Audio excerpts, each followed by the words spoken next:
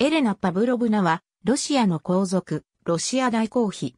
パーベル一世の四男ミハイル・パブロビチ大公の妻。ビュルテンベルク王フリードリヒ一世の次男、パウル王子と、その日であるカタリーナ・シャルロッテ・フォン、ザクセンヒルトブルクハウゼンの長女として、シュトゥットガルトで生まれた。ドイツ語名は、フリーデルケ・シャルロッテ・マリー。子供の頃、父に連れられ、妹パウリーネとパリで暮らした。彼女らの一家は他の王家と比べれば格段に堅苦しさがなく、彼女もパリで知識階級の人々から教育を受けた。1822年、父親の重帝にあたるロシア皇帝の弟ミハイル、太后と婚約。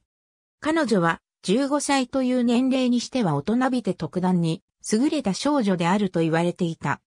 ミハイルは彼女の美貌と釣り合いの取れた人格に明らかに感銘を受け、彼女は会話を交わした人々を魅了したという。1823年、結婚に先立って正教に改修し、エレナ・パブロブナと改名。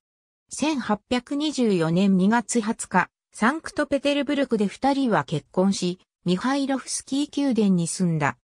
皇太后、マリア・フヨードローブナが1828年に亡くなると、皇太后の愛したパブロフスク宮殿はしばしば訪問していたミハイル夫妻のものとなった。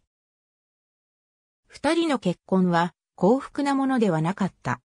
ミハイルは己の情熱をムンムに飲み注ぎ、エレナを放任していた。それにもかかわらず、夫妻には五人の子供が生まれた。エレナは義兄アレクサンドル一世夫妻と親しかった。